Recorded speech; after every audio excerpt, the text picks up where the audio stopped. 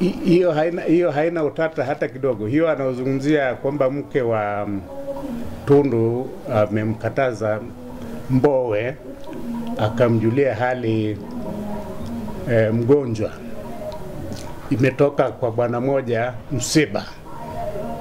Sasa mimi siwezi kumjibu Msiba, mtu wa hovyo.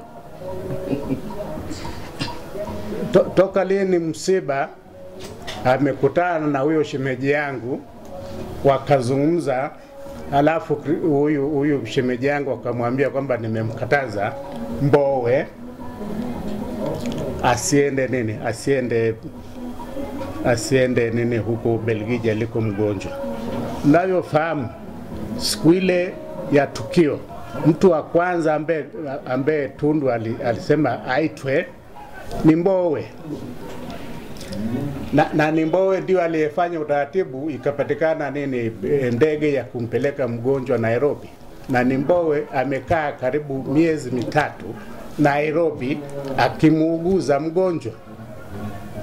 Sasa hii habari ya kwamba ulikuwa unasemaje?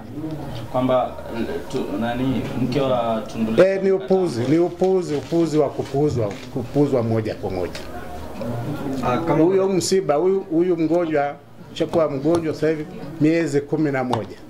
Mmeshamsikia hata siku moja anasema kwamba alikuwa na utaratibu wa kwenda Nairobi kwenda kumjulia hali ni mgonjwa.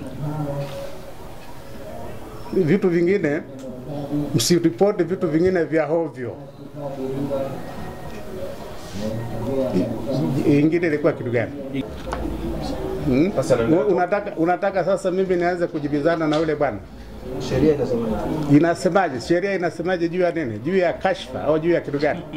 Watu siku zote si- watu wanakamatwa kila siku nini, wanakamatwa kila siku na polisi kutoa taarifa za uongo. Kwa nini huyu akamatwe? Eh? Unasikia bwana? Watu kila siku wanakamatwa, wanashtakiwa mahakamani kwa kutoa taarifa za uongo. Huyu bwana Musiba, huyu mheshimiwa Musiba anaropoka kila leo, hakamatwi. Mimi nisemeje sasa? Eh? Tunaona ana- anaaminisha watu uongo kwamba kilichopo ni kweli, ile hali kumbe mnatakiwa vile vile, ukiambiwa mheshimiwa JK alisema, ukisikia na wewe ongeza ni wewe naongeza na la kwako. Eh? na wewe unaongeza na nini? Na la kwako. Wewe msiba eh.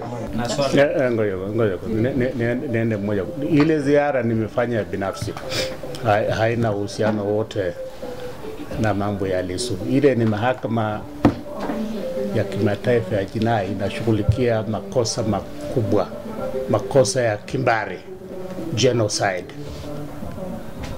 makosa ya, ya kivita kama aliyoshtakiwa na yule Pierre Bemba na kadhalika na kadhalika. Sikuenda huko, sikuenda huko kwa kwa ajili kwa sababu ya nini ya huyu mdogo wangu, hapana. Nilienda kutalii kwa sababu kuna rafiki yangu kule. Bahati mbaya sikufanikiwa kuingia ndani. Nili- nili- Nilikuta hiyo hiyo nini, mahakama walikuwa wamefunga siku ile, walikuwa wanaifanyia ukarabati e, kwa hivyo nili, niliishia ndani na nadhani nimeku, nimekujibu.